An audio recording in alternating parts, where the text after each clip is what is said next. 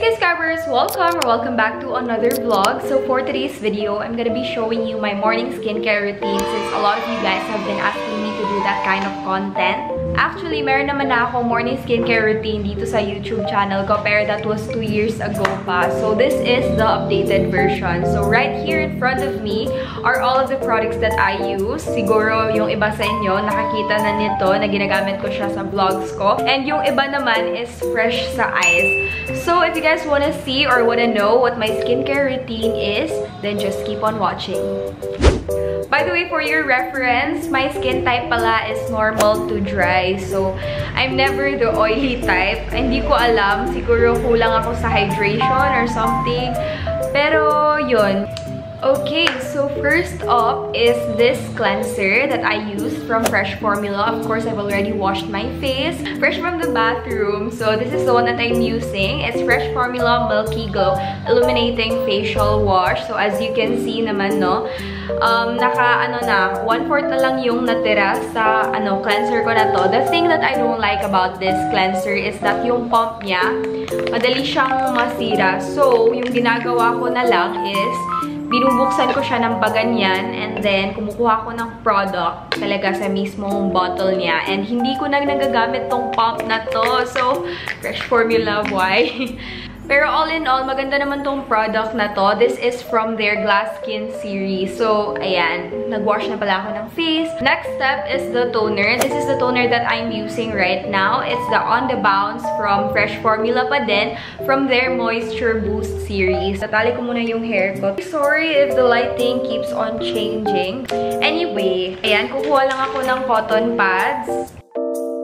So, ayan, as you can see, konti na lang din yung natira sa toner ko na to. This is a moisturizing face lotion, actually. Pwede nyo tong ilagay sa face nyo using your hands. Like, igaganon nyo lang siya and then pat-pat. But for me, I'm using cotton right now. Depends lang talaga sa, ano, sa mood ko. Pero I usually use cotton, ha. This is cotton squares from the brand Cuddles. Cuddles, yes. And then when I put it on my face, I make sure na upwards siya. And gentle lang. Gusto ko tong face lotion na to kasi ang dami talaga niya nakukuha ng mga dirt sa mukha ko na hindi ko naman alam na nandyan pala. And I also include my neck. Ayan. My nose area also. So, ayan. I'm done and my god, it's super dirty. Chang! Okay, so the third step on my morning skincare routine is this serum. It is from Ilana Mineral Cosmetics. It is a cream skin hydrating serum.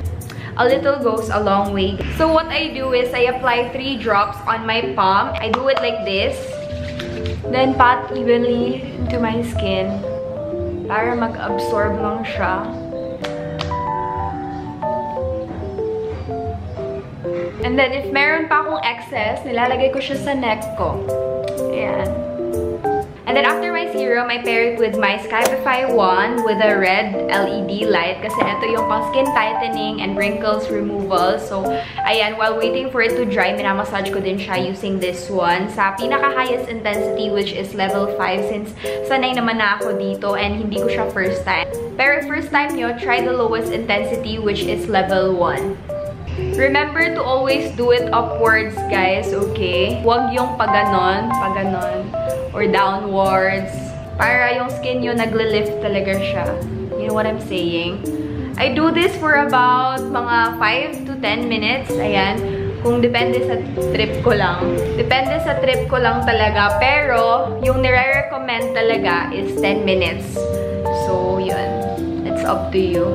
If 10 minutes, 10 minutes ba dito? Or 5 minutes, 5 minutes on each sides. If you guys are curious kung ano yung nafe-feel ko sa face ko whenever I'm using the Skypify wand, para siyang merong electroporation, electric something na nagtutusok-tusok sa face mo. Yun yung nafe-feel ko right now.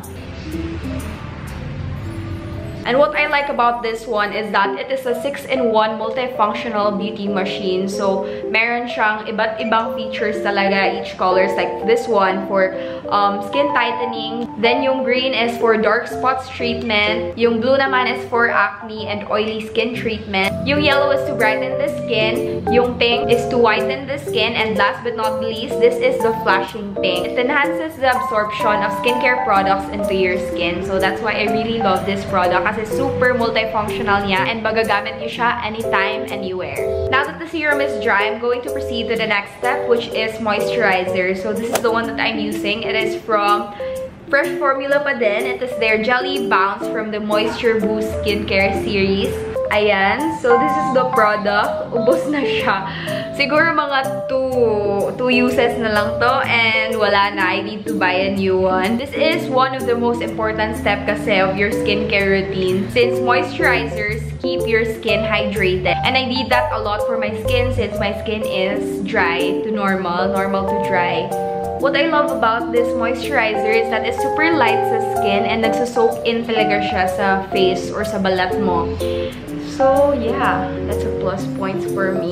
Ayoko gumamit ng moisturizers na mga super thick and heavy na siya sa mukha. Yung alam mong meron kang sinusuot, but this one, parang wala lang. Parang bare yung skin mo. Parang siyang jelly type na moisturizer na hindi ko ma-explain. Basta ang ganda ng formula na to. So, fresh formula, you did a good job. Ito yung mga ginagamit kong sunscreen for my face. The first one is Bello Sun Expert Tinted Sunscreen that has SPF 50++. And the other one naman, I just recently discovered this. This is from Ilana Mineral Cosmetics. It also has SPF 50++, but this is the original Glow BB Foundation. So, since parati ako nagme-makeup, so kahit nasa bahay ako, I have to look presentable kasi parati ako nagla-live or nagva-vlogs. So, kaya ginagamit ko din siya. Pero mahal nga lang to compared to this one. Kaya tinitipid ko din siya. And a little goes a long way naman since sa isang sachet, ang dami na niyang, ano, ang dami na niyang laman. So, so for today, I'm gonna be using this one and I'm gonna show you why I think this product is nice. By the way, I'm in the shade Buttermilk. Okay, so ito lang yung i-apply ko sa skin ko. Grabe, super ganda talaga ng product na to. Pero ang mahal niya, sis. Wala naman siyang sunscreen na nakalagay, pero pareho kasi silang merong SPF 50++. Kaya yun. Okay. Ang konti lang yung nilagay ko ha, pero parang, girl, grabe yung coverage na niya sa ano, sa face ko. But you can also use your sponge or your brush for a sheer coverage. Diba? Parang, sis, ang fresh ko na ulit. So, ayan, that's it. I'm done applying na. Pero sis, look at my skin. Grabe, it's glowing, glowing, shimmering talaga. So, ito yung nagustuhan ko sa BB cream or sunscreen na to. Kasi after I put it on my face, na, na parang meron siyang glowish effect dyan. Pero et, ito, okay naman siya. Pero parang, ano, siguro nauumay na ako nito kasi uh, matagal ko na siyang ginagamit and I want to use something new na sa face ko. And plus, manipis lang to siya sa skin. After mong gamitin to, maglalagay pa ako ng concealer and everything. But this one, no need for concealer kasi sakto lang naman yung coverage niya sa face ko. That's why I super love this. You guys should try this too. All the products that I've mentioned earlier, I will be linking them down below just in case any of you are interested to try it out or maybe use them in your skincare routine or something. That's basically it for my morning skincare routine. I hope you guys liked this video and if you did, please give this video a thumbs up. Comment down below for any video requests or video suggestions that you'd like to see next on my channel. And follow me on all of my social media accounts. Everything is at SkyZ. I hope to see you guys next time. Don't forget to reach your dreams because the sky is the limit. Bye!